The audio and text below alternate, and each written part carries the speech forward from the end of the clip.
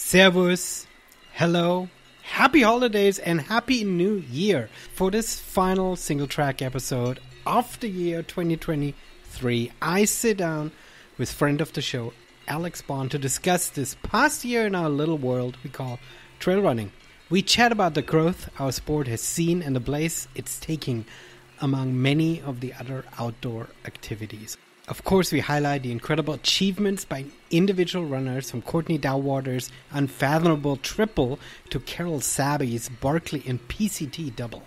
And we wonder a lot what's the economic impact our sport on mountain towns and other host venues? Who gets to call themselves a trail runner? And of course, we wonder about the expansion of UTMB worldwide and if that cool race around Mont Blanc has lost its cool factor. But before we dive in here, I want to take a moment to thank all of you, my dear listeners. Thanks for subscribing, sharing, liking, leaving comments and reviews, and of course, listening to Singletrack over this past year and all the years prior.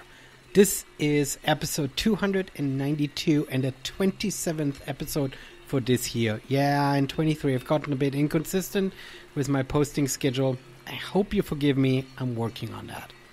This coming April, I'll be celebrating the sixth anniversary of Singletrack, the podcast that somewhat still keeps on evolving, but always is a perfect outlet for me and my thoughts. I love sharing these conversations with people who I think are important and fascinating, and I feel have something unique and valuable to contribute to our world. I hope this has been and continues to be an inspiration for you wherever you listen to Singletrack. All right, now let's jump into my conversation with Alex. This is Singletrack, and I have Alex Bond back on the horn, and I very much appreciate you coming back on. It's been a while. How are you? I'm doing all right. Actually, it's been kind of a weird. Uh, we're recording this in early December. It's been a oh an odd last. You know, we get into the the rainy season here and the short days, and so it's sort of in the doldrums of forcing yourself to get outside a little bit. But uh, you know, the, in general, things going just fine, and you know, getting excited for 2024 and you know, putting stuff on the calendar and thinking about what I want to do and all that sort of stuff. So that that that excitement for the uh, for looking towards the future is all is all bubbling along. I, I think I say this every year. I love my off season. I love being sort of a little bit of a you know, two colored chameleon, if you will. in the summer, I want to spend as much time outside and in the mountains as I can. And then in the winter times, I love baking and uh, doing all kinds of indoor stuff. Sure, I will try to get out, try to get my runs in no matter what, try to sort of stay active and healthy and keep sort of a, a certain level of fitness. But I do like sort of the switching off. And part of the being at home is then sort of the planning and the pouring of ideas and sort of starting a dream phase again of what's what's on the agenda. Yeah, it's easy to uh it's easy to think, oh well, you know, spring and summer is a long ways off. I kind of got in trouble with that last year, thinking, oh, you know, it's you know months and months away, and then all of a sudden you look at the calendar and you realize, oh, actually, that uh, race I was thinking about doing is just eight weeks now, and I really got to get my act together. And so I think that that's all good and healthy as long as you don't let it sneak up on you too much, because um, you know, even if your race is twenty weeks away on the calendar, they, I, I found that they those weeks go away faster than you think. I know it's a it's a tricky piece, and this is sort of one of the evil things about races that you commit early. You can commit to something way before you are in shape or whatever. You put money down, which cre- which creates a level of commitment that is more so than this. Hey, I want to run this really cool route. I want to do this really, really cool project, right? And then you work your way backwards, and the races then become a little bit the priority over everything else. Like I feel like for me, this last year, I spent mostly training, very dedicated for specific races, in very little time, like none, following any cool projects. Like I didn't really get out and do cool adventures. You did a whole bunch of cool stuff though. Eh, it wasn't my best year, but I had, I yeah, there were a few things along the way. Uh, you know, it's just one of those things. You have, uh, you know, we all have good years and we all have bad years. I was actually, I was all generally for most of my life, it was a good year this year, but I didn't. uh You know, we'll see. I'm I'm excited about the prospects for getting back, and I didn't do any ultras this year, and so I I've I have signed up for 50k in the spring, and you know excited. I'm thinking about you know we'll see what the rest of the year looks like. Nice. Well, you are signed up for Saturnalia, if I'm correct on that. Yeah. And so, I mean, you know, this is the absolute um, season highlight for you, right? 10K, Olympia, City Park. Yeah, I've been, uh, you know, tra- I've been training my butt off for it. You know, we'll sort of see. I haven't actually, uh, yeah, we'll, actually running 10k all in a row for us trail runners especially slow trail runners like us actually running 10k in a row you don't always do all that often because you know oh here's a hill i'm going to walk up it kind of a thing. That's our normal way of doing things. So actually i'm kind of interested to see how it goes. We'll see. I like it. I like it. All right. So part of the reason why the main reason why i wanted to have you on is and oh man two white guys on a podcast doing a year in review recap I hate to call it this is the state of our sport, but I kind of wanted to do a show like this to say, I think, you know, last time I had you on, we talked about some movie on Netflix, right? So mm-hmm. let's do something different and try to be a little bit um i don't know more professionally more journalistic if you will right um and, and look at our sport. There's been so much going on this last year, and mainly sort of bunched into the la- latter half. And um, I don't know. I think for many people, just normal trail runners, it probably flew past them, and they might have read a couple headlines here and there, a couple posts, and they took note. But there's been a lot going on in the year, so I don't know. Should we recap? Should we look at and see what what was important over this this last year in our sport? Yeah, I figure that's that. You know, check in on some of the big stories and and uh, folks can they can share come up with their own opinions and share them and but yeah go over some of some of the stuff that happened one thing that sort of kicks this off for me is that a report came out that's um, in the daily, some government report that uh, spoke to, and we'll link all of these things that we mentioned in the show notes so people want to follow this up in more detail. But that the outdoor industry contributes more than a trillion dollars to the US economy. Um, and I think it speaks to the fact, it speaks to multiple things. Number one is, I think our sort of industry has been, from an economically speaking, has been under reported, under documented. Only recently, people have been taking sort of a little bit closer look at um, what is actually happening in this uh, in in our world and looking at it from an economic driver point of view. So I think the more we see these kind of res- reports, well, hopefully this can change politicians' minds and how they allocate public land or permit certain things and think about this because it is such an important aspect of our economy increasingly. Um, but also there's just a general growth, right? I mean, uh-huh. people love going outdoors, and one trillion isn't all UTMB races. This is the larger sector that includes boating and hunting and mountain biking. Um, and so, um, yeah, I mean, this is boomtown, right? Yeah, and I think you know one of the things when you look at it is that the costs of trips and travel are a huge part of what makes up for that. And so I think as now you know people are everybody's forgotten that there even ever was a pandemic. Uh, you know, people are traveling again. People are even I am getting on airplanes again. You know, people are doing cross country road trips.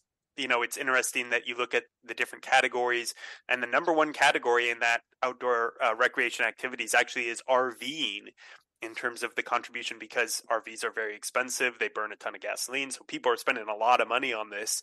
And I think it's just uh, it just shows that people are really getting back into this traveling thing again. And you know, I think you know the merits or lack thereof of RVing as specifically an activity, which I'm not particularly interested in. You know, I do think it is good that people are getting out there and doing stuff, and um, you know, and you know these reports are in some ways they're almost a as much as they are like data on the industry they are in some ways intended also i think sometimes to be a political document to sort of go to these conservative politicians in utah and say look, what actually makes you money in Utah is not mining, it's people coming to the you know the big five national parks and um, you know making that case for them to support public lands and support national parks and not out of some you know hippie we love the environment kind of thing even if that might be what i go for but out of the pure you know this is an economic driver for you. You know i think what's the big challenge out of these things is the economic benefits of all this growth and how does that actually connect with outdoor recreation communities you think mm-hmm. about okay we spent 1 trillion dollars on economic outdoor recreation but if i buy an rv if I, you know, buy a plane ticket from Alaska, you know, if I buy an RV to go drive to Moab, none of that, very little of that economic benefit actually goes to the community of Moab. You know, there whoever produced that RV is getting a bunch of money. The gas stations along the way are getting money, but that actual community in Moab, the community that you know I'm going there to do my rock climbing or hiking or running or whatever, uh, mountain biking, whatever the activity I'm going there to do is, you know, the benefit is going to Alaska Airlines, who I bought my plane ticket from, or it's going to the gas stations along the way that are selling me the gas. And that community of Moab, the whole thing that's drawing me to go there, they're not seeing the economic benefits of that they're not able, you know, that money that I'm paying in taxes isn't going to Moab to help them pay their teachers' salaries or something like that. It's going to, yeah, everywhere else, you know? Mm-hmm. And so I think one of the things that we need to think of this is yes, there's this huge economic impact to outdoor recreation, but it's incredibly unequally distributed. And you know, when I and I do my shopping, a bunch of my shopping at REI because it's convenient and there's one nearby where I can pick stuff up. But if I, you know, what's the difference between buying something at REI and this is a cliche at this point, complaining about Amazon or something like that. You know, I think people have thought of this, but like the difference between this economic activity is not actually see we're not actually seeing the benefits of that economic activity from outdoor recreation flow to outdoor recreation communities. So if you are in Moab or you are in uh, Leavenworth or you are in you know Winthrop or any of these other uh, outdoor recreation hubs, how can we make sure as an on an economic principle that some of the benefits of all of this economic activity in the outdoor industry are actually going to the places that make it happen, that make it possible. So two things. Number one, I think the whole RVing category is all van lifing. So this is all, you know, Gen Z millennials who are jumping and buying themselves a sprinter van and tour, touring the country. No, I'm kidding. I am curious because I actually think, and you, this is a little bit of a cliche, and needs to be a challenge because I'm actually surprised now, 20 years in this country, that I think, yes, compared to Europe, where in the Alps, chain businesses, corporate entities have very little um, space, right? I mean, these gondolas and these hotels, they're all owned by locals who own the valley. So, yes, mm-hmm. compared to the Alps, we have an economic infrastructure set up that does benefit uh, the remote corporations and not so much the little people on the ground that live and run their independent businesses. But I actually feel like they are doing well if they decide to take advantage of it. Like when you go to Leavenworth and you see how many businesses have survived over the last years, like I don't, I feel like people are able to, if they live in these towns, take advantage of it if they want to.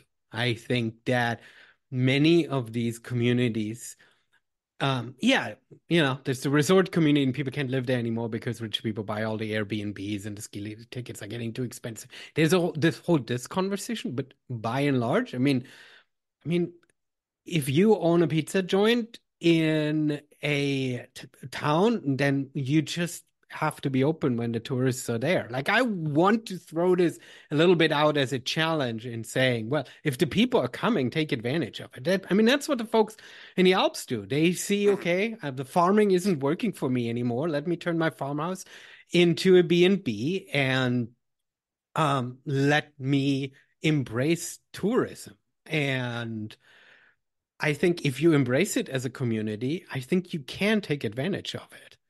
I think there are some people who can take advantage of it. I think the guy who, the person who owns the pizza shop, they can they make money, you know, because tourists come to buy the pizzas. I think the you know the person who owned the house that they bought, you know, 30 years ago before the place was a sexy outdoor recreation town and who now they have this house that they can rent out as an Airbnb, they can make money for on it. But what about, you know, the teacher who works in the school district? Are you know, is Leavenworth making enough money that it can pay its teachers a fair wage where they can live in Leavenworth, or do they all have to live in Wenatchee and commute over?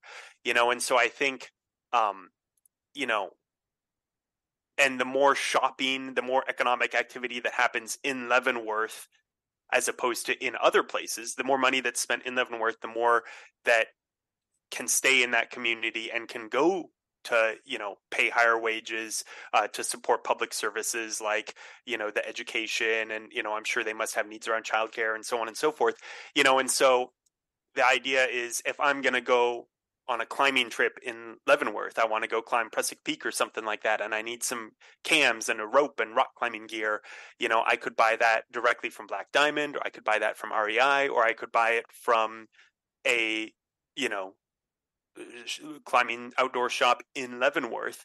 Um, you know, I think, and I'm a hypocrite here because I bought all that stuff not in Leavenworth, but you know, you could buy that in Leavenworth and support that community that is there next to the outdoor recreation thing that you're trying to go do, you know? And so, you know, I, I and I want to be upfront and admit my own hypocrisy. You know, I'm I I probably don't do enough shopping myself in these mountain towns when I go visit them. Um, you know, I'm more likely to sleep in the back of my Subaru than I am to, you know, rent a hotel, or get a hotel room, that sort of thing. But um, it's it's more just sort of thinking about in general how much of the economic of that one trillion dollars that's spent on outdoor recreation, how much of that money actually stays in the outdoor recreation locations versus flows to REI corporate, Patagonia corporate, North Face corporate, etc. Yeah. Or I mean, you know, and of course because the biggest category is RVing and right. boating. I mean, that's not even at least REI kind of has has a better outdoor connection than whoever builds RVs these days. Yeah. I mean, I think I think your your observation obviously stands, right? I mean, this is obviously not not one trillion dollars for Leavenworth and um, uh, Ocean Shores or whatever, right? Um, but I think the larger point for me in that is that we are sort of riding the wave of an upward swing, right? We've seen year after year before the pandemic it started. Throughout the pandemic, it was weirdly hampered but then exasperated in some respects that people love going in the outdoors people buying more stuff people participating in more things. Trailheads are busier. It's harder to get campsites and like more and more people are going out right? And i think there is i mean being part of sort of a, a growing environment always has challenges, but it's also exciting because if Patagonia makes more money, then they will release more gear that is more specialized. They can afford to bring the product out that you need, right? They're more, you know, I'm a race director. If people are interested in trail running, it's easier for me to get these races filled up. It's easier for me to justify the time I spent on trying to put on an event like that, right? It's it's good it's a good feeling to be part of a sort of sector and an industry, a sport, a pastime, whatever you want to call it, right? Where uh-huh. there's sort of more interest, there's more attention um, on it. There's growth because, in by and large, I think we get we'll will you know the the more the attention brings us um a lot more things that we can play with, if you will, right? To write it into something very like I don't know, selfish, right? I mean, if there are more races, if more people want to run races, more races are selling out, more races are going to be offered. That's exciting. Yeah, and I absolutely. I mean, it's it's good that outdoor recreation is growing, even though a huge part of that is stuff like RVing and boating and stuff like that. You know, and I absolutely think, like I said, these are political documents in a sense, and and I absolutely believe that these, you know, outdoor industry association people absolutely need to be taking these these facts and figures and taking them to conservative politicians and saying, look, you're making, you know, more people are being employed in your district because of outdoor recreation than because of mining or because, you know, and getting them to support public lands and those I think that that's all very important. I just think we we shouldn't purely cheerlead it. I think we need to take I think the community needs to take a look at how these benefits are actually being distributed, who's actually making money on it, who is not, and you know thinking about things like you know the outdoor industry association they're saying oh we need to support public lands public lands public lands and then you say how about a backpack tax to pay for public lands and all of a sudden the tune changes. Oh we can't do that. We can't do that. Well okay actually if you are this trillion dollar industry that is growing hugely uh, maybe we actually do need you know in the same way that hunting and fishing um, you know hunters pay an ammo tax that pays to for wildlife management and we're able to you know it works out great. The hunters have animals to hunt. Uh, you know they pay a modest tax. It's there's a clear nexus and uh, it seems to be working out great. So if i want to have trails to hike on or run on maybe i should pay a little bit of a tax on my hiking and running gear to pay for that in the same way that there's that nexus with you know the fish and wildlife and you know fishing gear and hunting gear you know but you talked to REI about that and uh, you know I think their tune would very quickly change about how enthusiastic they are about making those invest you know paying that that little bit so I just think it's something that w- that we need to consider you know what does this actually look like in practice and think about things like like a backpack tax or you know how do we make sure that these benefits are being are going at least some to the the the communities who are uh, making outdoor recreation possible. Yeah. No, absolutely. Another piece that's interesting in this report is that when you look at it broken down by segments is that running isn't listed as its own um, segment. Like we, mm-hmm. as you mentioned, the boating and you mentioned the hunting and the RVing, right? There are these big categories, but there are also smaller categories like um, biking. And so at first I was thinking, well, is running not on there because it's perhaps in a sports category? And then I drilled down, realized that part of the reason is that it's sort of mix, mixed in with the other activities that include walking. And so the, the the question that I'm having is our sport, and I'm including road running there. Is it unique enough that it should be standing on its own? Or is it too hard to distinguish because we don't buy boats and motorcycles? Um, we just buy running shoes, and so far, um, running shoes aren't as expensive as boats and motorcycles. Um, like our sport is sort of floating in this space in between, right? If it's like, I mean, you already pointed out that trail runners only walk half the time, right? Are yeah. we are we standing on our own, or are we sort of mixed in with the walkers and the climbers, if you will? I mean, it's kind of. T- I feel like, especially in the case of trail running, it does feel like maybe it's difficult to distinguish. I, I don't know how the economists who put these reports together exactly how they figure out what's what because it does it does uh, seem like it would be a lot easier to tell this is in a boat you know this goes in the boat category because somebody bought a boat you know you you don't have to be a phd to figure that out you know and uh you know how do you tell this is a you know how some of these expenses break down you know and i also think you know you think about a a lot of these uh, is travel costs contributes mm, to this. You know, mm-hmm. people who are traveling for that that's economic activity, which is a big part of this report. You know, and Uh, you sort of think, well, you know, a lot of people travel for races.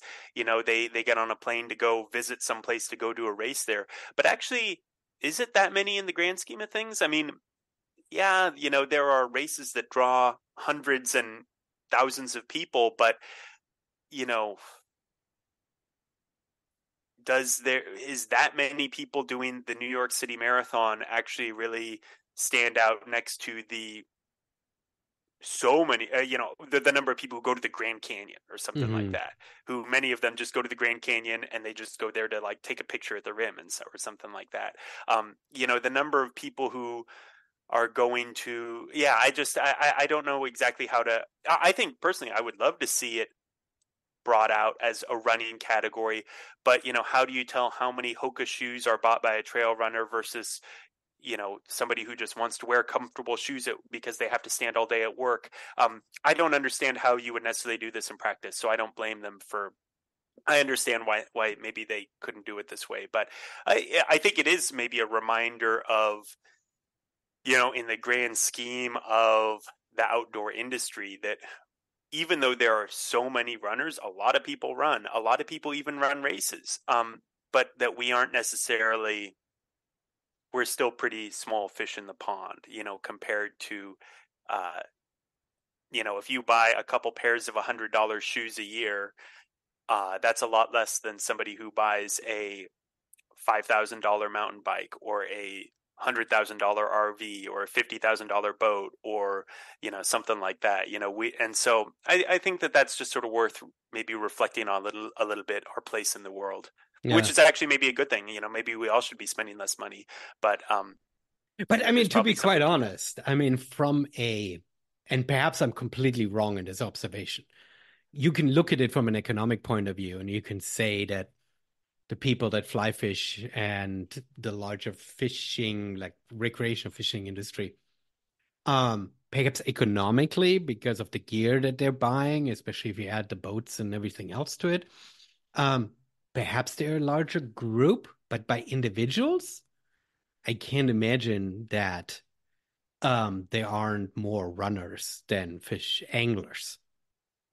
I, I might be wrong. It is just uh-huh. it, it, it just I mean I feel like everybody at some point goes out running and fishing like mm, I mean not commercial, right? Recreation fishing is like a very very niche sport.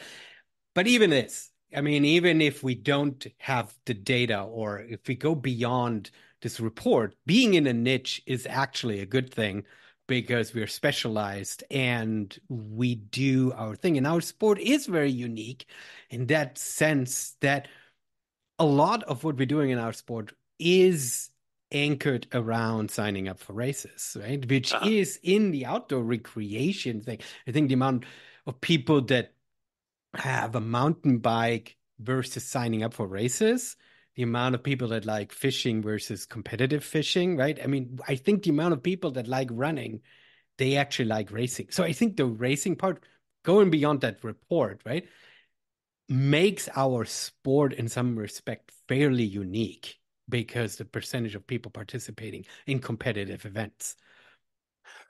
Well and i think when you talk about i think the thing when you talk about that is there's a big difference between people who enter races like the 5K Turkey Trot versus they do a marathon one time ever because it's something, it's a bucket list kind of thing, versus the people who are entering three or four races a year because they are super into ultra running and trail running kind of a thing. And so I think, uh, you know, I don't have any statistics in front of me about you know how many people do each of these categories but i would imagine that a whole lot of people who enter races are not habitual race enterers. Um, you know they're not the people who are doing it again and again and again. I think that there are a lot of runners who you know run a little bit for exercise and then every so you know at one point they decide oh it would be cool to do a half marathon or something like that but uh, are not necessarily the people who are signing up for a ton of these. I would push back on it and say that if we look at the trail running world, if you call yourself a trail runner, you run races. being a trail runner inherently means you run a race. That's that would that's what I would say. I think that really, yeah, I would say. I just think there are very few trail runners who run trails without at least a race a year. Oh, I would disagree with that. I think ah, I like it. I, I might be wrong. I just I'm, I think most I think most of them probably enter a race ever. I think a lot of people have tried it. Um, you know, most people tried it at one point or another. But uh, yeah, I think that there are a lot of people who one how many yeah, I, I think that there are a lot of people who do the activity without racing often or barely ever. That that would be a funny statistics because I think that I could see somebody right doing the bucket list marathon once, but then they also stop running, right? They are they they don't they be done being a runner. But while you call yourself a trail runner, I think you get sucked into the vortex of the excitement of the community because there's a distinct difference between a hiker who purposely seeks solitude. That is sort of the definition. Nobody comes to a trailhead and says, "Oh, I'm so excited that the parking lot is slammed full. My hiking trail, uh, my hike that I'm going to be on, going on today, is going to have hundreds of other people. It will be so fun to high five them, to wish them an amazing time out. Right? That's that. The hiker is the exact opposite. But a trail runner likes the outdoors, but defines itself by and large by seeking community, which is very different to the average outdoor thing. Certainly not all of them. There are some people I think who like to well, I guess it comes down to a definition of what does it mean to be a trail runner. I mean, if there is if being a trail runner means that you go out on trails at faster than 10 minutes per mile sometimes, then I think that there are a lot of people who do that and never enter races. I don't think so. I feel like almost every run, every trail runner that I know, the conversation goes absolutely about what races they're going to be running at some point. Like it, it might be a long time in between. I'm not saying like it might be only one a year. But the people that I know that run, do you know a lot of trail runners who just do it for fun and they never sign up for a race? Uh, I think that there are some. I, I think I know I know people who trail run for exercise and do not do races. They might not trail run super often, but they and they might do like for example. I mean, I'm thinking of like hikers. Uh, you know, people who like to do, hikers and mountaineers who I know from that community who you know they might have goal projects and events insofar as I want to climb this mountain. I'm, you know, but they have Strava accounts. I see them on Strava. I follow some of these people on Strava mm. who, um, you know, they have who they do what I think everybody would recognize and call trail runs. Um, they have like having a Strava account is kind of a th- like if you have a Strava account, you are in the sport, you are doing the thing. Um, but you know they enter very few races uh, you know, I, I see these people. Are they common? Well, you know, maybe not, and maybe some of this is just particular to the community that I'm in and the people I see.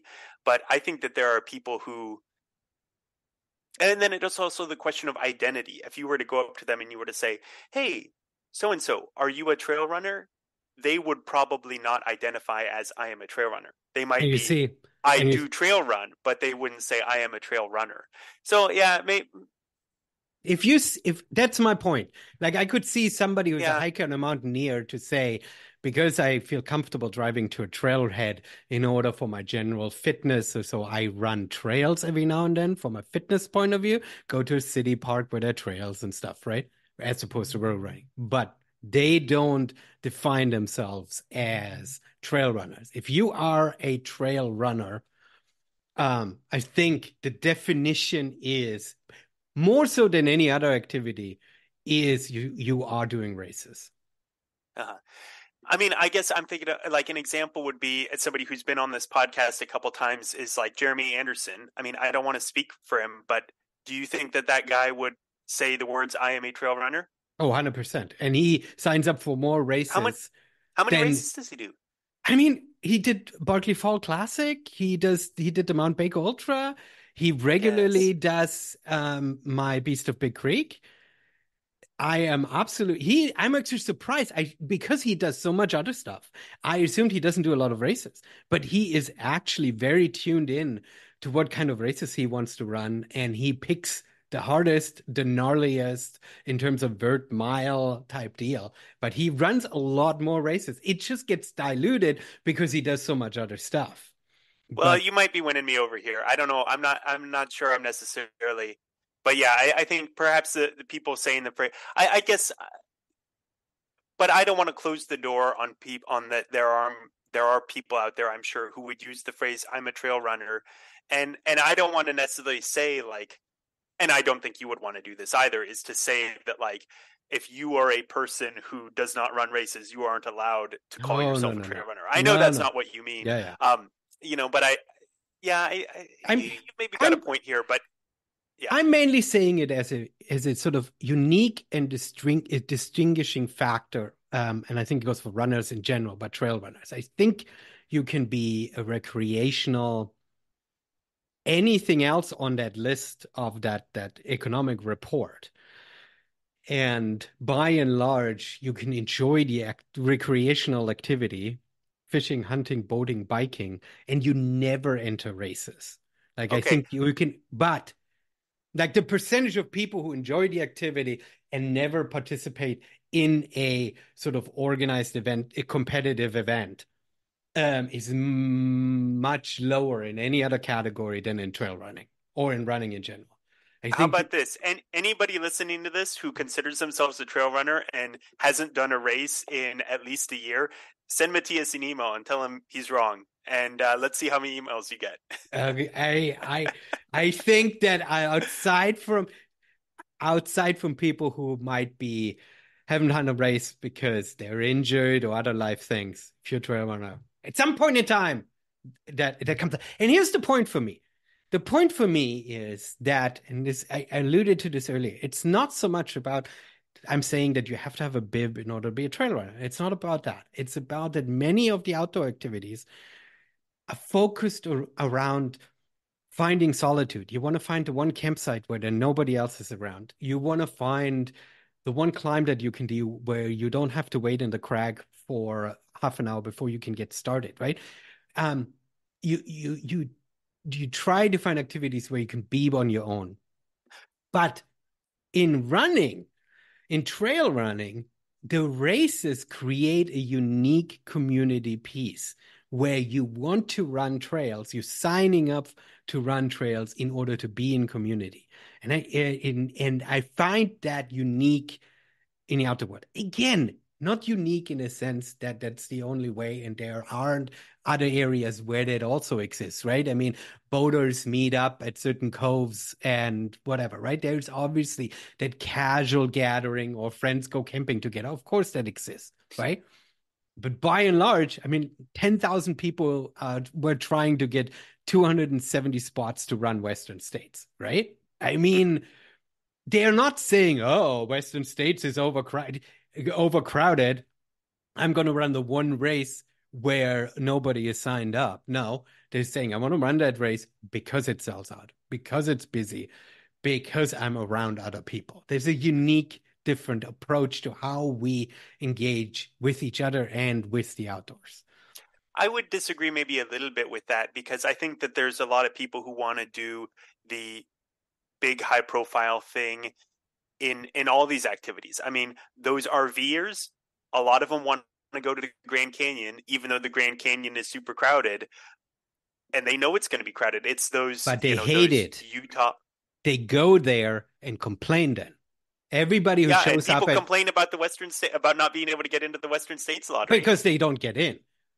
But, but Uh-huh. if, if But you get, but if I think- get in, then you're not complaining that it's too crowded. Oh, nobody think- nobody gets into UTMB and says, "Man, that race is overcrowded." I mean, unless but then, but then you shouldn't run it. Then you're an idiot. I think the basic idea that that people want to go to these popular high profile spots or events you know people want to go to the grand canyon people want to go to western states people want to hike cascade pass in the north cascades um, you know people get drawn to these big high profile events uh, in every in every category. And yes there are you know the niche people who want to go off and do the thing all by themselves but i think a lot of us want to go do the famous thing. They want to go do the high profile thing. They want to go do the thing that they've seen on social media and i think that that's true of running and it's true of all the other activities too by and large. Yeah no i agree that it's true but the difference is the the complaining piece. That's the that's my thinking that you sign up for the high profile thing where a lot of people as a trail runner and you're excited to be around other people wherein you run rim to rim to rim and you wish you would have fewer people. You you you annoyed that there are other people on the trail.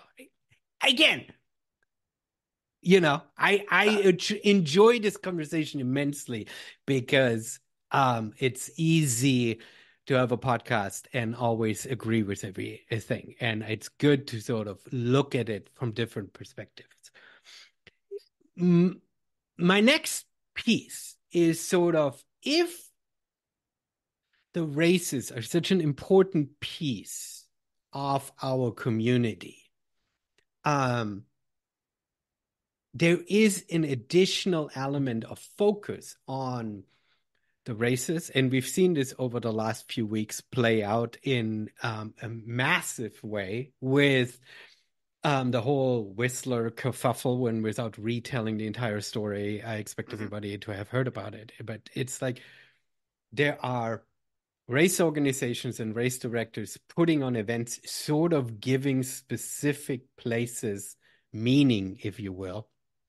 And um, then we have economic forces and businesses that are coming in and are sort of changing the meaning of what it means to run a trail race. Now with these stones for UTMB, you don't just run a race at a certain place for the sake of running it and enjoying it. You're doing it as a stepping stone, literally, to get into another event. So these races play a huge piece of how we experience the outdoors, our own recreation, and each other as a as a community, right? I mean, they they are a pivotal part. Mm-hmm. Yeah, and I think you know the one thing you know you're mentioning about you know what makes talking about what makes running different than other things and yeah it is i do think that one thing that's interesting about running is that it is centered around you know in the same way that RVing might be centered around these particular national parks that are big draws um you know that we've chosen not just events but competitive events as sort of what our focal points are is is kind of an interesting and unique thing about running and trail running. Yeah, and I mean it it allows us to expand the outdoors, if you will, because if we would be just hikers, then we would just focus on the national parks. We would just focus on the few national, most beautiful places. But because we can't run races in the national parks, we naturally have to expand um, where we run, right? And uh, uh, something as naturally not as significant as you know some desert strip where javelina happens or so, right? Um, uh-huh. Becomes an important aspect, a, a, a point where runners go to and know about and flock to, um, even though it's sort of naturally doesn't have any significance, right? Yeah.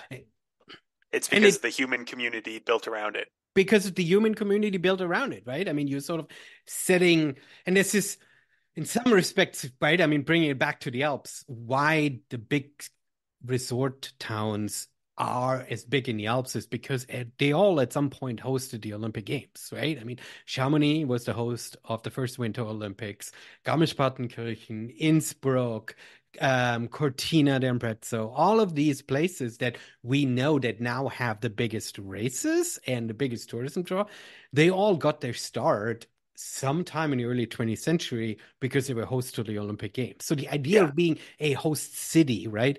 Auburn is not really a city to write home about by itself, right? It's made special because of Western states, right? And so race directors by and large have sort of the ability to be I mean, I know I'm overblowing this a little bit, but they are sort of history makers. You can put a specific location on the map. I mean, that's the whole point why Hardrock exists, right? I mean, an old mining town that economically was challenged. Let's put an event uh, into this area to give uh, to give it an economic boost, right? And so I think there's something really fascinating there going back economically from an economic point of view, but also from a community builder and how we as a community talk about these places and these events and schedule our lives around them. I think you're I think you are right about that and that the um you know the power and then also to some degree respond you know with power comes responsibility that race directors have around that is is interesting and the, the, the impact on you know, I think about gravel cycling is a great example of this in the same kind of way of like Emporia, Kansas, which is a town nobody has probably ever heard of before the Unbound event started, and now is kind of a big deal in the gravel community. Um, you know, put on the map in the same way, and so yeah, I, I think that that's a point well taken. Yeah, happens in cycling too. Yeah. So, and then the next phase for me is that interesting aspect that 10 years ago when trail running sort of first made it onto the social media scene or perhaps social media sort of caught on to it trail running existed in many ways through the youtube videos of the first person sometimes documentary experiences of the runner running a certain event right there are countless stories of people getting into trail running because I mean, not because they run watch the Barkley marathons. I don't think everybody, anybody who watches that Netflix documentary, says, "I want to do that." That's more of a like, "What the fuck is going on here?" But like the videos that we see um, Europeans love the Western States videos, these desert canyons, these hot canyons. They love the idea of, of running in that environment because it's so unique and different, and vice versa.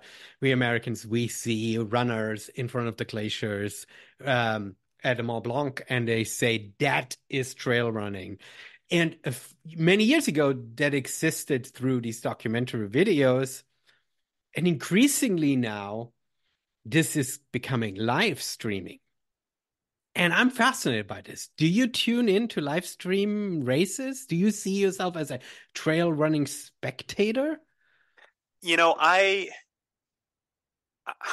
I think a couple times I've watched a little bit of some of the UTMB live streams, but I would not consider myself a trail running spectator. And you know, I think what's interesting about it is at least for me, you know, I don't want to you know there's ex- there's exciting things happening on the races for these people you know they are having to dig deep and make decisions about how hard they can and cannot push and you know it's there is certainly drama there's the drama about you know you're sitting in the chair at the aid station and you're one you know can I get up and push on? You know, there's the drama about the, you know, the elite who's wondering if they have, you know, can they pass the person in third because they're in fourth. Um, but the actual watching of the videos uh, of the live streams seems kind of boring to me beyond just like a little bit of this being an interesting novelty. That's for me personally. I mean, apparently there are other people who watch them, but I don't know. I you know, I think what I have enjoyed about I like the idea of cameras being on course, but it seems like to me the better way uh, to relate that is to put together the highlight reel. You know, I think about, you know, there are a couple race videos that I have watched that were actually really good. You know, I think about that um that one from the North Face 50, the Miller versus Hawks from like 2017 or something like that. Like it was a great video uh, that was it showed some exciting racing, but also the important thing is it was like less than 10 minutes long. If my my recollection is it was about 10 minutes long, maybe shorter, definitely less than 15 minutes. And so it was the kind of thing that somebody with our modern, incredibly short attention spans could actually sit down and watch and enjoy. And you're not, it was showing you the, it was showing you the best part. It was showing you uh, some great vistas. It was showing you two guys running really fast, um, being very competitive. and yeah, it wasn't boring. Mhm. And I don't know. I, I the idea of sitting down and watching six hours of Black Canyon does not sound interesting to me at all. You know, I think when you look at the other video, like uh, the Western States Unbreakable video, it was a highlight reel put together after the fact. You know, the Barkley documentaries, highlight reels put together after the fact. You know, the idea of having cameras on course to put this kind of stuff together makes sense to me, but I don't understand necessarily the appeal of the live stream. That's me though. I think that they're. I, I'm I'm in the same boat. I, I don't see myself as a spectator at all. I think that there is the the special thing about live is that feeling of drama that can't be scripted, that can't be Uh-huh. controlled, right? You need to log in because you might see something, experience something, witness something that um, is astonishing. I mean, Courtney's last few miles at UTMB last year when she made herself over that col and hundreds of people were up there. That was a experience in trail running that has never happened before. And being able to experience that live was truly spectacular, right? But these races are long, most races are ultras, and sort of the expectation of sitting for 36 hours in order to capture that one glimpse, lightning in a bottle, seems um unjustifiable for me too, right? Yeah. But race directors increasingly adding these on, and it becomes an expectation. And I've been asking myself these live streams, and I've been asking myself, what's the ROI? What's the return of investment? Why does it happen? Because many ways a race director's core um, challenge is to create a good experience for the runner.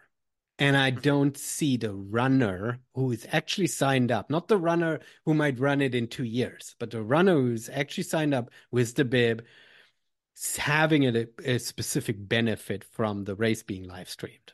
And so if it's not for the runner, why does it exist? I think the I, I I think there is truth to that. I think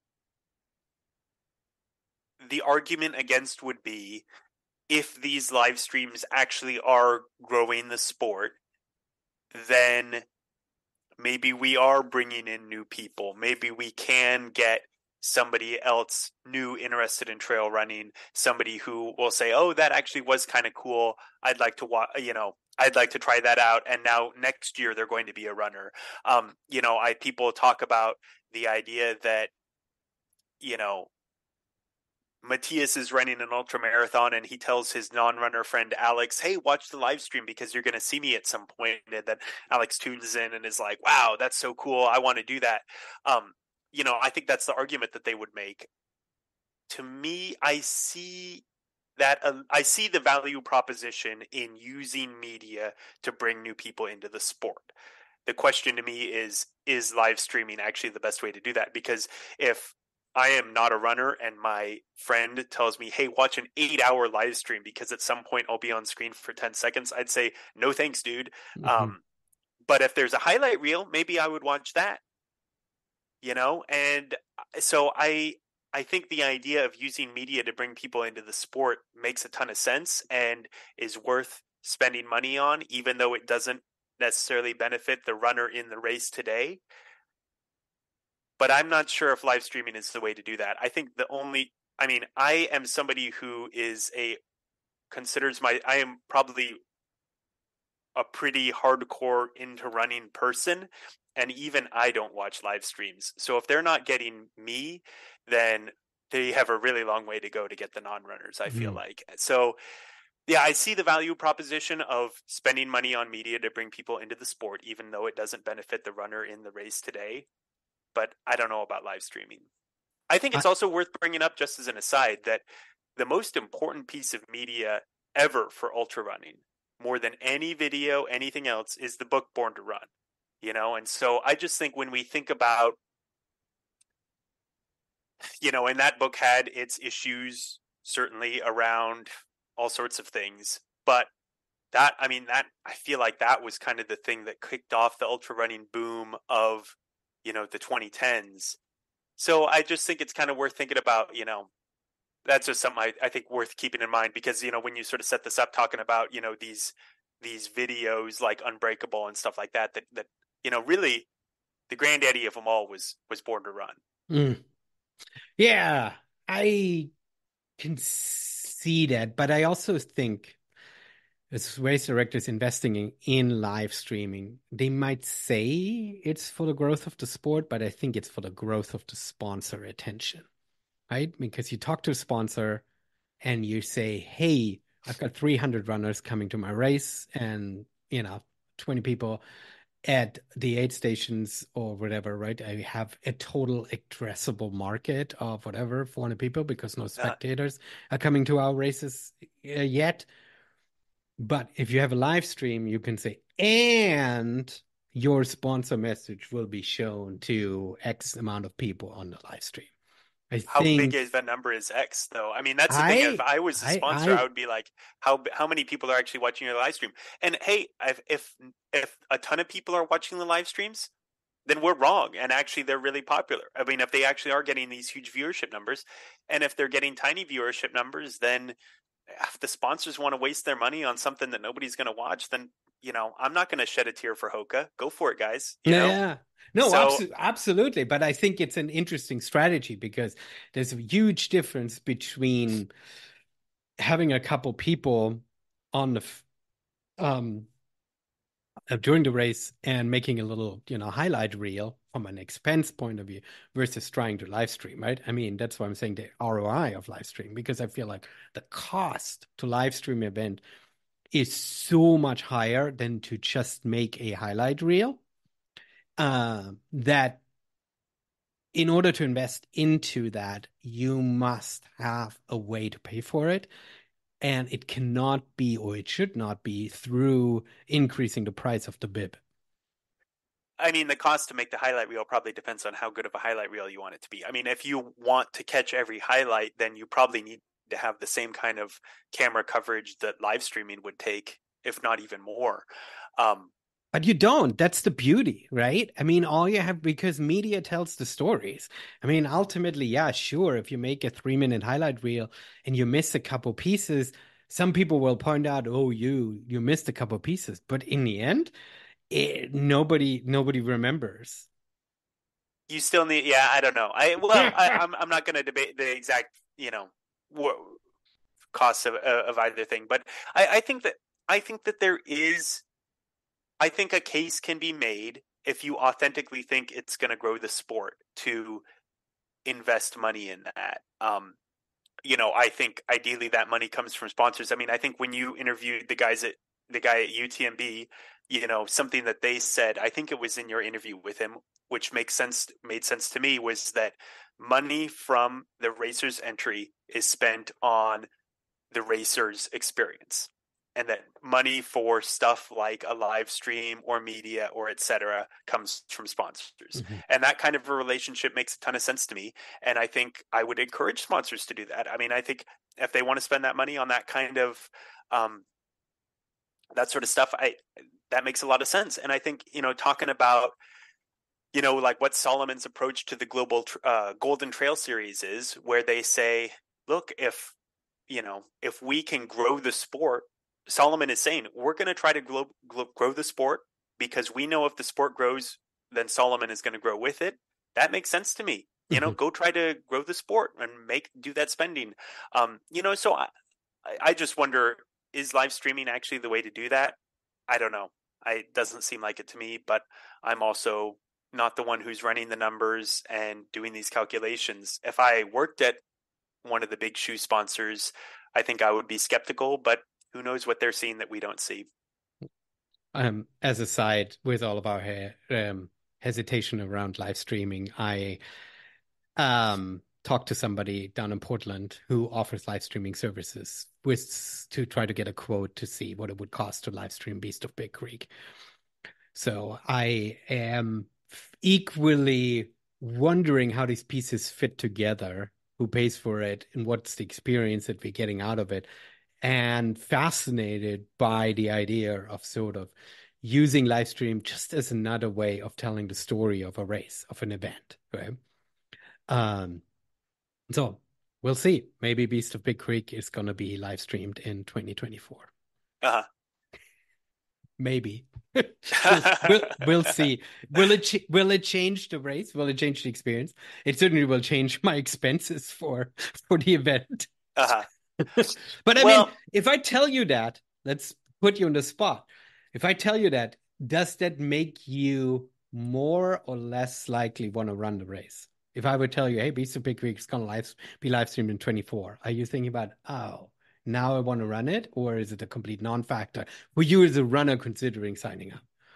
Uh, for me, the only factor that would play into it is that presuming that it would be like watchable on demand later, um, you know, I would never like ask my family and friends to watch the Beast of Big Creek live stream because it's assuming it's something like you put a camera up on the summit of Mount Ellinor pointed at the trail so that you can see people coming up and down. Um, I would never say, "Hey, watch the whole thing live," and at some point I'll be on there. But I think I would for sure go back and I would like pull a video clip of here's the five seconds where you could see me, and I would post that on my Instagram story. Um, that said, like that's basically like what you get from a race photographer. And mm-hmm. so the mm-hmm. question is, you know, I like I like having race photographers on course. I usually buy a photo when I do a race that has photographers. Um, you know, and so if I'm getting pretty much the same value add to me as the runner from the live stream as I do from a race photographer, you know, which is the easier one for you to do as the race director, it's hire the photographer for sure. Yeah, yeah. No, absolutely. I I agree with you on that. Um since we are already putting you in a spot, you have not been somebody we you know you came when we first met um you came from sort of from the fkt world from the adventure world this is sort of what connected us. We've not actively talked about seriously trying to run qualify for specific races. And I remember you telling me that just before the Whistler thing came out, that you were sort of thinking about, hmm, maybe I should go for some stones. And Whistler perhaps would be a great location because it's close by. Before, let's have two parts of this conversation what attracted you to the idea of trying to get stones? And how much has that changed? You know i think i actually started trail running really interested in races you know and so and and it's then i have also you know i've done races almost every year that i've considered you know since i've started trail running. I, I don't think I didn't do any in 2020, of course. Um, I don't. I, I haven't done them every year, but it's it's always been a part of it. And you know, I I do think that there is something to, like you've talked about with the community, being around a whole bunch of people. It's not necessarily what you want to do every time, um, you know, and it's nice to I think it's maybe a little bit different for us here in the Pacific Northwest because we do have these wonderful wilderness areas to go to in our backyard. It's actually in some ways more convenient to go to, you know, Mount Rainier National Park than it would be to go to, you know, canyons or uh, the Canyons Race or uh, Black Canyon or or any of these relatively high profile, you know, U.S. race events because, like, yeah, I've got a better place to go to than than that race is in.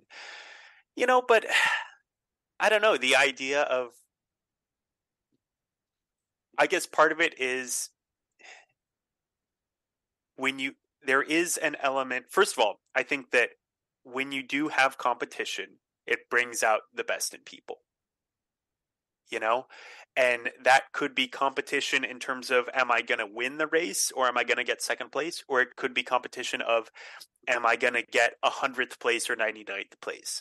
You know? And I think anytime you are on, like when you are in that race environment and you are, you've got four miles to go and you can see somebody on the trail a hundred yards ahead of you and you're feeling good, that is going to get the best possible performance out of you. When you have that person in front of you who you can hunt down, or when you're in that those final couple miles of the race and you you know you've got somebody 100 yards behind you and you're thinking geez i really would prefer not you know? And yeah it's who really cares who gets 100th place but um you know when you're in that competitive environment and you feel that way you can get a really good performance out of yourself. So i think that for people who want to push their own limits and have put in their best physical performance and really get 100% out of themselves, which sometimes that's me. The way to do that is in a race. I also think for people who want to push themselves to the limits, the race is also a safer environment to do that in. If you are going out by yourself into the backcountry, you never want to give 100% because what if something goes wrong and you need to have something left in the tank, you know? And so for people who are you know, pushing the distance or the difficulty or really want to go as fast as they possibly can, um, you know, the race environment is a safer way to do that. You know, mm-hmm. obviously there are people who also go as fast as they possibly can for an FKT attempt or something like that, and you know, good for them. But you know, the fact is, like, and they, good for them, and that's cool. But mm. the fact is that there is an element of extra risk involved there that you, and yes, people can still be injured or die in races. It happens and it's a tragedy, but it's uh yeah, there's an element of safety there of having people around you, of having a you know a race director who's expecting you to come back at the end of the day and will sort of notice that, that you know one of their runners hasn't checked in at the finish, you know that kind of a thing. There's an element of safety there, so you know I don't know, and then I don't know. It's also there's an element of like just cool, mm-hmm. you know like I, I, I don't know. I think that there's an element of it's just cool to do some. It's just a cool event, you know, mm-hmm. and some of these races are, and uh, so I don't know. I uh, and the definition of what's cool is obviously it's different for every person, and oftentimes you can't define exactly what is cool or not. But I mean, there are races that I see, and I think that's not cool. That I don't I don't think that that's cool. And there are some races you see and you're like, whoa, that's cool. Mm-hmm. You know, and uh, so for you, UTMB is that something that you consider cool? Like the idea of racing in Europe in a super high profile event in terms of like just busyness left and uh, right. We've not we've never talked about this. Is that something, or did you consider the UTMB races in the US just because they are more higher profile and it would be just fun to be in that atmosphere. But the Stones and the possibility of flying to uh, Chamonix, it wasn't really on your radar. I, I think the idea of racing around Mont Blanc is cool. Of people getting together and say, let's see how fast we can go around Mont Blanc. That's just a cool thing. That's just a cool idea. It's you know it's, it's it's the ultimate story. I I still can't find another race that even comes remotely close to that. Uh, I I agree with you. It's an iconic mountain. It's a the idea of the circumnavigation is cool. Um, you know, going as fast as you can is cool. I don't know. It just you know, and and the merits or lack thereof, specifically of the UTMB organization, like the basic idea of the race is extremely cool. I I I love that you don't have more flowery words, but the the tone in your voice says it all. The way you say it's just really cool. It's perfect. I love this. So, how has it changed in these last few weeks? Has it changed? Um, how do well, you feel about everything that's happened? Um, you know, at the same time as somebody who thinks UTMB is cool and and likes to do races from time to time. It is also a thing where it's like, you know, we have limited time and money, and you uh, can invest it in certain things and not in other things. And you know, what is more interest if you're looking at something to do in October? What is more interesting, you know, to go do one of these UTMB races or to go do rim to rim to rim of the Grand Canyon? Either way, you've got to spend some money on something. Either way, you've got to get on a plane and travel. Either way, you've got to travel for it and, you know, or you've got to train for it and make it somewhat of a priority. Um, you know, which is eh, going back to the idea of what is cool. You know, which is cooler, the Kodiak 100K or the Grand Canyon rim to rim to rim? You know, I think I would make the argument that the Grand Canyon probably is cooler. You've done, you know, you've done rim and rim and you've you've been there at Kodiak, so you could maybe, you know, you know, you would know more than I would in terms of you know commenting specifically on that kind of a thing. But um, you know, it's one of those things where it's like, hey, you know, we have to make those kind of decisions and uh, prioritize our time and and how we're going to spend our vacation and our money and our training. And uh, you know, I I don't know the idea of and the bigger investment that you have to make, the harder that decision is. You know, actually trying to go to do UTMB is, let's be honest, it's a huge investment you have to do all these by UTMB races. You have to train and travel and spend money on each one of those, and you have to do them successfully. And then you have, I mean, it's a huge investment and it's also got a huge opportunity cost because you could be doing different things instead along the way. And, um, you know, I feel like in a big world where there are so many things to do, you know, I will, if there was a free entry to UTMB sitting out there, I would you know, absolutely zero doubt in my mind, I would want to do it. Um, but in the value, you know, the idea of the opportunity cost of the things that you I would have to skip along the way to actually go through the whole thing, I just don't really see. I just don't really see it for myself, you know, yeah. and that's, you know, I don't, I don't think I have concerns about, you know, the community or that UTMB is some evil organization. You know, I think you know what went down in the Whistler case is not cool. You know, I think it would be better if you know Gary's uh, the the Whistler Alpine Meadows race still existed. I think that that would be a better world. I wish it did. Um, I would consider doing. I would you know I I was never really in shape to do any of the longer distances there in past years, and um, you know, but it's one I've I'd always sort of thought about. Oh, that would be on the on the someday list. Um, but also, I mean, I don't. I think there are many runners who are in the same kind of boat where it's like, well, that seemed like kind of a an, a bad thing that happened. I'm not happy about it. But also, I think the people who are really the most angry about it are people who have been hardcore anti UTMB for a long time. And I and there are some of those people who have argued for years about problems with UTMB, and I understand where they're coming from. There's some truth to their argument, um, but I just, yeah, I don't know. I, I, it doesn't. It's not something that I feel super strongly about one way or the other personally. Yeah, it's interesting. You're not just you bringing up the like opportunity cost. You could run rim to rim to rim or somewhere else, right? I think that's again that speaks to the difference in our sport. Like if you're a climber like Alex Honnold doesn't think of next year and say, ah, oh, well, you know, the um, Olympics are in Paris. Maybe I should um, structure my my my training in my life around competing in the Olympics. Right? For him, as a climber, it's only his personal projects. That's the only thing that he cares about, right? Sure, sponsor commitments to make sure that these projects have a, a certain visibility and storytelling aspect to it. But in general, he doesn't think of certain events that compete with this. And this is sort well, of the unique way. Yeah, I'm going to actually push back that specific example of the Olympics.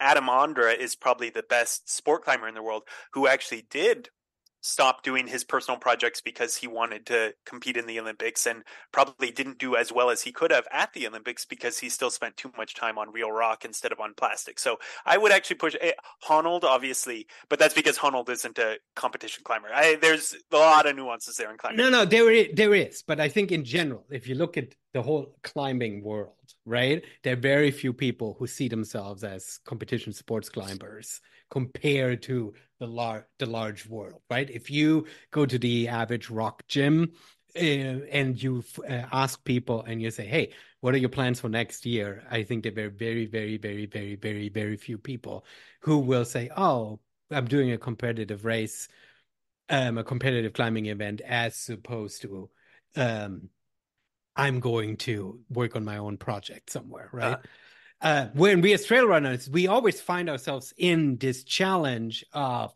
should I sign up for a race? Cost money, time focus of training and everything else, right? Going to experiencing a specific location versus am I chasing sort of these these dreams? And there are very few locations, rim to rim to rim is a personal outing in a national park, it will never have a race. There are very few locations where the race destination and the sort of scenic destination really come together. Whistler was one of them. I mean, I ran Squamish twice, and Squamish is an amazing event, and I love Gary's races, and it's probably one of the absolute best races organizationally that you can participate in. But it's coastal mountains. It's very, very similar from a trail experience to the races to to the um, trails that we run here every single day. Many of the trails felt like Capitol Forest.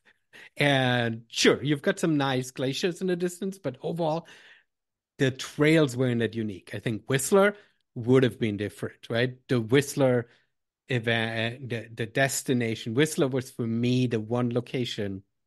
And I had said that right from the get go when um, Gary first introduced WAM, This is the event that had all the pieces to rival UTMB in North America in the long run. It had the tourist destination, it had uh, cl- close proximity to an international airport, enough hotel beds, and um, absolute gorgeous scenery with glaciers everywhere and stuff, right? Yeah. Well, um, and I um, think it's really too bad because I think you are kind of right about that. And that, you know, the well, ha- you know, just speaking, I said I wasn't that disturbed about it, but it is really, it sucks because people are not going to, a lot of people are not going to want to do this Whistler race with justification. I wouldn't sign up for it, I don't think. Uh, people aren't going to volunteer. And so you know, it's it's too bad that this place that could be the host of an iconic event is going to be the event, uh, the host of what will most likely be a not very successful event, and that's too bad. That's a big bummer, and it's and it sucks that it ultimately, yeah, it is like Ironman's fault to some degree, not entirely, but to some degree. You know, I don't know. It, it sucks. I think it is Ironman's fault, Ironman UTMB's fault because they should have managed the PR around it better. I think I don't think it um a business can only control its own narrative and a business needs to anticipate what other people are doing. They knew they were entering a competitive life um, environment. They knew that there was the possibility of pushback, and they handled it, handled it about as poorly as he could have handled it. Uh-huh. Um, and so now they are sitting in the bed that they've made, if you will, right?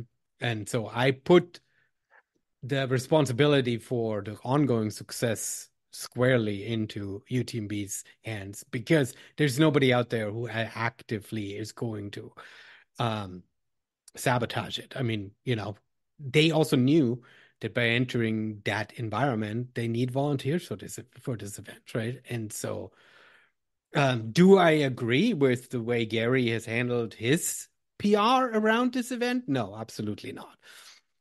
I don't think he's done the community a service but that has nothing to do with the Whistler event. The Whistler event is going to exist and is going to be um, handicapped by um, the doings of UTMB's PR department.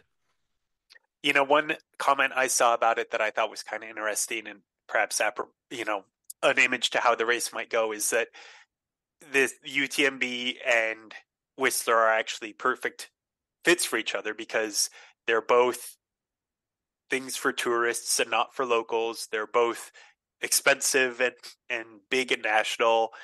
That this is, you know, the whole that I don't know that that whole idea that they are a tourist thing and not a locals thing, and that actually in some ways that they're a good match. I was like, oh, maybe there is actually something to that because there's a lot of issues with Vail as a ski resort and you know the complaints about that and that it's all about bringing in people from outside to pay for ridiculously expensive lift tickets uh, all that sort of stuff yeah.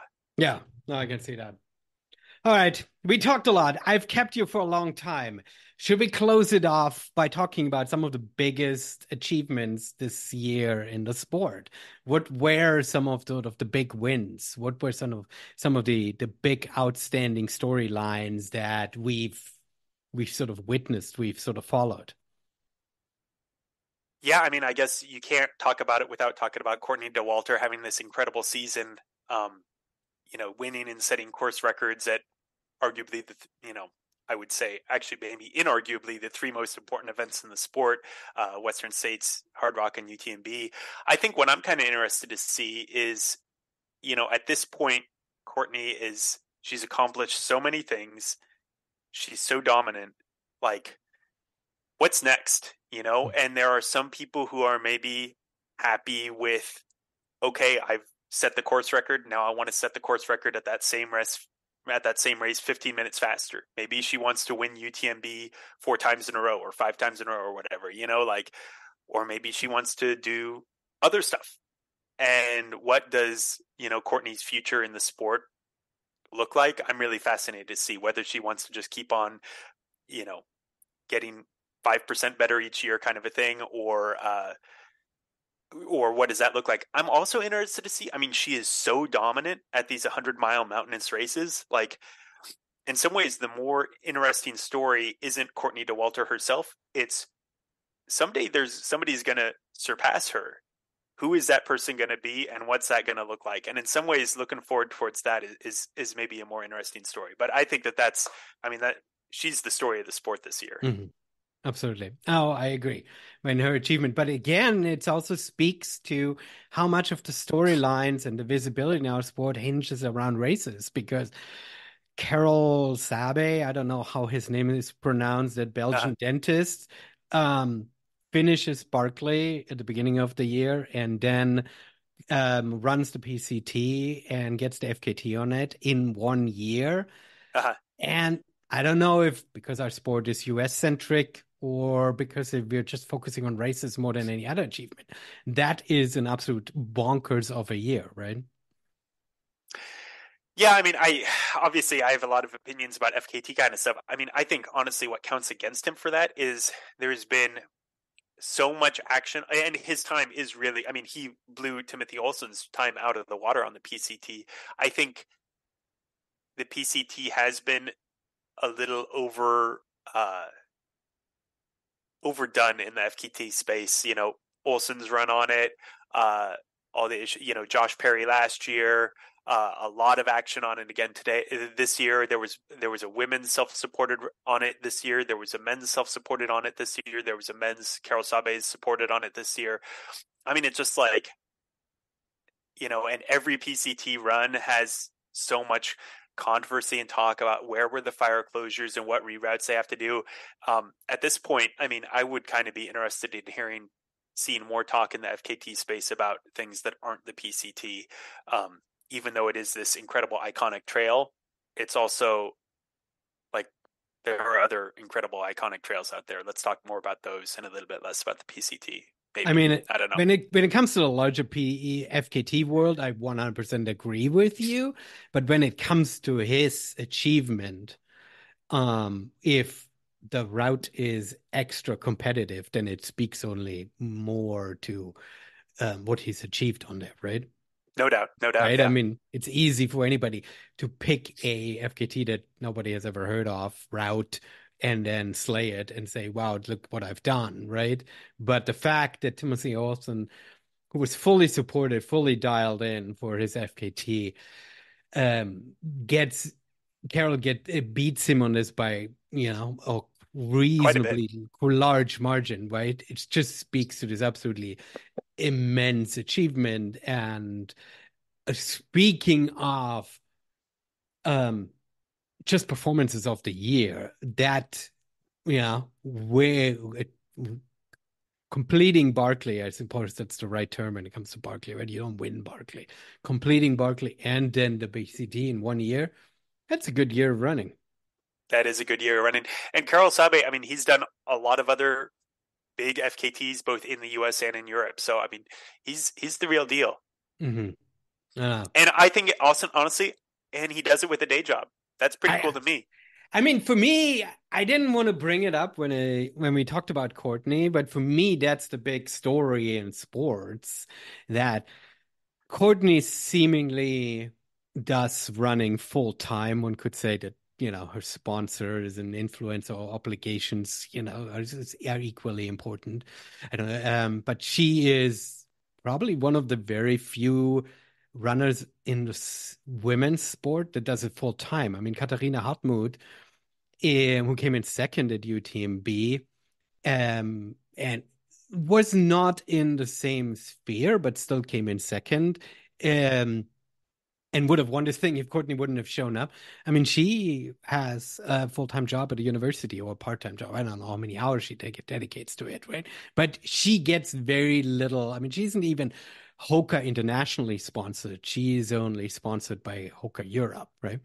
Uh-huh. So, right, and I think that they, if you look at Hannes Namberger, like most of, I don't think there's a single German trail runner who actually does it one does the sport 100% full time. Everyone has a side job, and that I didn't want to bring it up because we talked about the performances, but looking at what the sport can grow into, or perhaps never should grow into. Perhaps it's fascinating to see that a full time athlete, I mean, Walmsley won UTMB and um, Ludo came in fourth or fifth or so, and I think he has a job too, right? And he's in mid forties, right? Like the, the the the separation between the pro who's one hundred percent dialed in the sport and a person who is dedicated, super you know, skilled and everything, but does it as side job, is still within spitting distance. And that's fascinating because you're not going to show up at any of the other professional sports and think you're going to like, you know, throw hoops with some of the big NBA stars. It's not going to happen, right? Yeah. I'm I'm I'm not going to go step on a field with Messi and saying today today I'm in my have a good day. you know, there are worlds apart, when it doesn't feel like in our sport they are truly worlds apart yet. Yeah, it's it's also difficult for me to relate just as somebody who is worlds apart.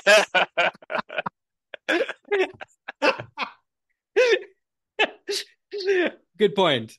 Good point. I mean, I can't even finish on uh, races myself, so I get it. But we still in 23 line up at the same starting line and i think that makes our special uh, sport special right? We still run the same trails we still run the same races.